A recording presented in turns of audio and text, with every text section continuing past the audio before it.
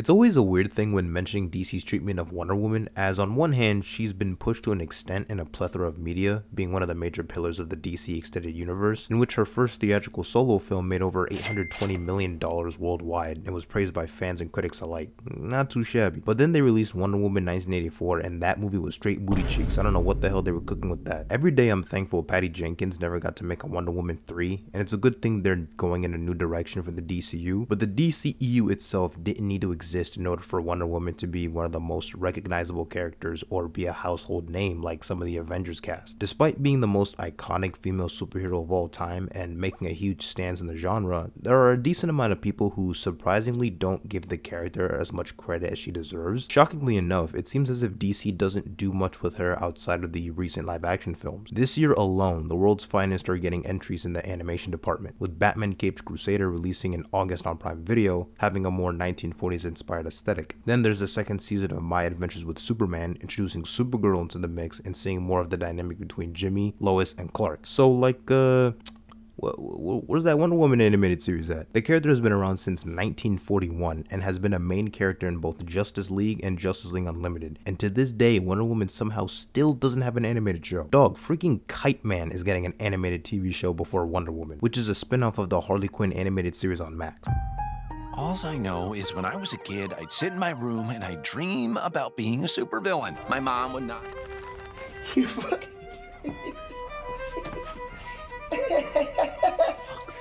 This is just one example of the lack of Wonder Woman mythos being pushed in comparison to Batman and Superman. James Gunn did state that he's been trying to get a Wonder Woman animated show up and running ever since he was on board to be the co-CEO of DC Studios, so here's hoping that leads to something at some point. Everybody has their favorite interpretation of Batman and Superman. Oh, the DCAU is the best. Oh no, uh, the Arkham series is actually my favorite. Christopher Reeve's Superman really resonated with me, or you'll hear, oh nah, Henry Cavill was my personal favorite. Sure, Wonder Woman has had several adaptations, but the discussions surrounding said adaptations pale in comparison. I feel as if she needs a more diverse pool of depictions across mediums to explore different aspects of her mythos in gaming, animation, and live action. Because even though she's very well known and iconic, the same can't really be said for her rogues gallery or supporting cast. The most out-of-pocket takes I've heard on Wonder Woman come from the people who severely downplay her significance in the comic book genre. I've seen debates on who's the fourth most iconic superhero of all time after Superman, Batman, and Spider-Man. Some people say Hulk, Wolverine, maybe The Flash. Now, I like the guy, but some of y'all really think the fourth most iconic superhero is Iron Man? More iconic than Wonder Woman? Yo, shout the season, man. Tell the season, man. Iron Man is a great character. I'm not discrediting his impact on the comic book genre. Absolutely insane to think Iron Man's popularity was anywhere near that of DC's Trinity before the Marvel Cinematic Universe was even a thing. The big three of Marvel, without a doubt, pre-MCU was Spider-Man, Hulk, and Wolverine. Anytime I would see a post like this on Twitter or some other social media platform, I'd see comments revolted on the idea of Wonder Woman being considered the fourth most iconic hero. Uh, W except for Wonder Woman, should have put Captain America instead. Yes, sirree. Thought about killing myself. Iron Man and Cap are not as iconic as Marvel's OG Big Three, and Iron Man is certainly not more iconic than Diana of Themyscira. That nigga's tripping.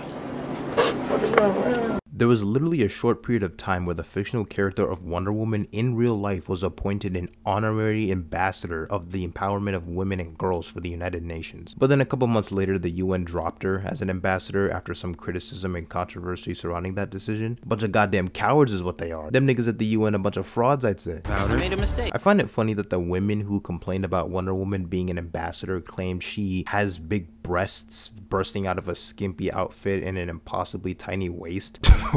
okay, saying how it's sending the wrong message to girls about meeting a male standard as a sexual object. So these people claim that they fight for gender equality, but then immediately judge one woman's character based off her appearance and not by reading her stories or looking who she is as a character, while also saying her body shape isn't appropriate to represent female empowerment.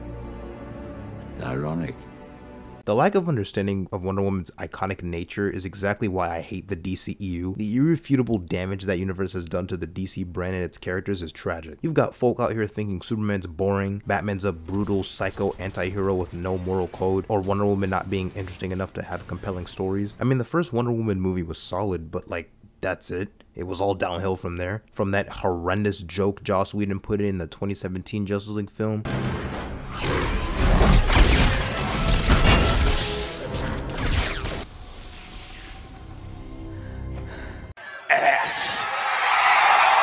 To the out of place cameos you'd see in films like Shazam Fury of the Gods. I swear, if I hear that Wonder Woman theme one more time in a movie, I'm gonna start tweaking. You'd see some casual complaints here and there on the more outlandish or silly elements of Wonder Woman's mythos. Some argue that her invisible jet is stupid, but like, dude, it's an invisible jet. How is that not cool? It's a good demonstration of some of the unique traits of the Wonder Woman lore that often don't get explored in media. Being molded from clay by her mother and brought to life by the gods for me is the preferred origin for Wonder Woman over her being the biological daughter of Zeus. That's far more unique and specific to her character than being like the 50 millionth child of Zeus, because if I'm being honest, that's a little boring. Greetings. I'm Wonder Woman, but you can call me by my real name, Diana.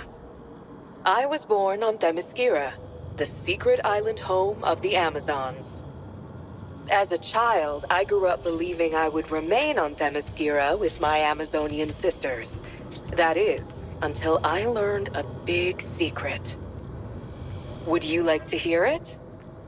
I learned that I was the daughter of Zeus, ruler of the gods. Oh my god, who the hell cares? And I feel this fear of being too outlandish or unrealistic took a turn for the worse temporarily when the New 52 came about. Pre New 52, the Amazons were created by a few goddesses where the souls of women who were killed by men would be reincarnated into the Amazons of Themyscira to form a society of warrior women. I think more adaptations should lean in more on the Greek mythology side of things as that creates interesting stories to tell with the vast roster of Wonder Woman side characters and villains. But the New 52 came along and they were like, Oh, oh, oh, oh, oh.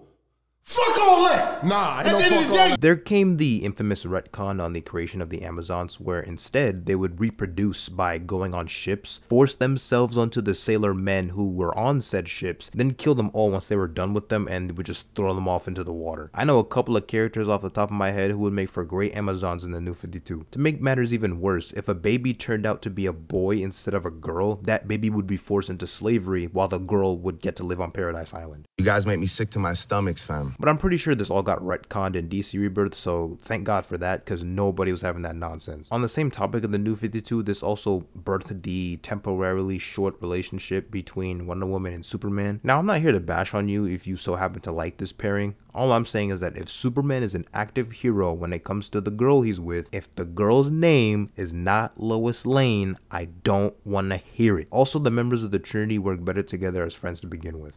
You're sure it's a good idea? It feels right. Can't let it rest, can you?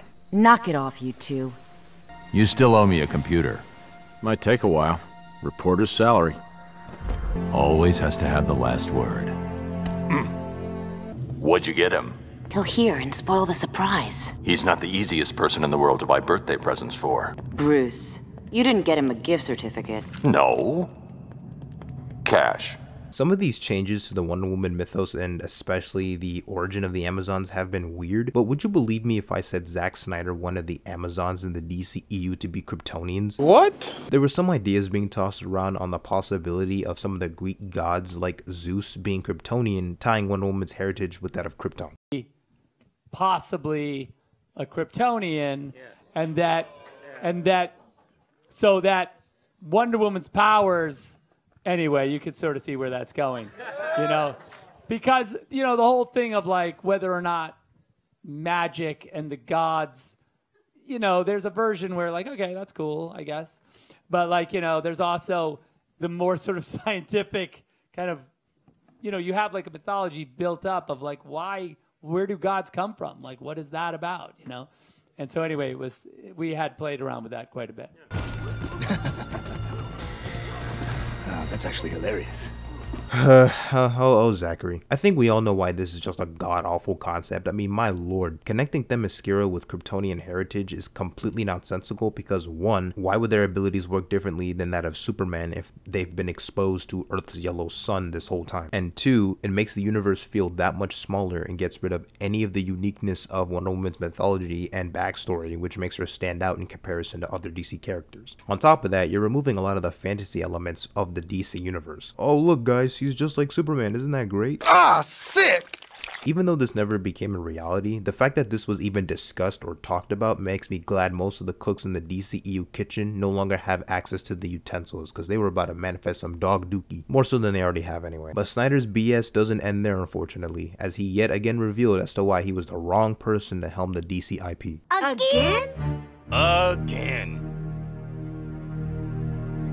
So apparently he had this idea tossed around about a scrapped Wonder Woman 1854 film where it would focus on her experiences in various wars throughout the years, finding lovers on the battlefield, but since she's immortal, the men would age out or die in battle. They date her for about a decade or so, but then they'd feel sad because they would see Diana being nice to the next young soldier and come to the conclusion and realization that, oh, I'm being replaced. Snyder also shared a photo on Twitter with Wonder Woman holding three severed heads. So basically, this scrapped film would have been the utter and complete character assassination of Wonder Woman and going against everything she stands for. My man's is on straight weird shit. Back the fuck.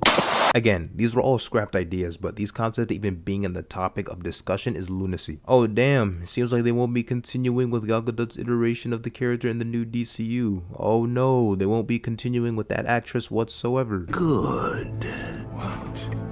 A complete reboot in live action is exactly what this character needs, alongside an initiative to push the character more into the mainstream. A new single player AAA video game is certainly a step in the right direction, which is surprising how this would be the first Wonder Woman game, well, ever to my knowledge. The new DCU has a lot of opportunities to delve deeper into Wonder Woman's lore. Her supporting cast of characters like Donna Troy or Cassie Sandsmark will be getting our first look into this new iteration of the Amazons in the prequel series Paradise Lost, set before Diana's birth, so basically like the Krypton show but for Wonder Woman. I just need some of the same love given to Batman and even a bit of Superman as of late with a new Superman cartoon and with a new movie on the horizon. Handed to Wonder Woman as well because people debating her popularity and impact on the comic book genre and questioning if she's even iconic is blasphemy. Seeing the wonders that was done for the character of Iron Man because of the MCU who wasn't even that well known pre 2008, imagine what a proper interconnected universe could do for a character that's already one of the most recognizable superheroes of all time.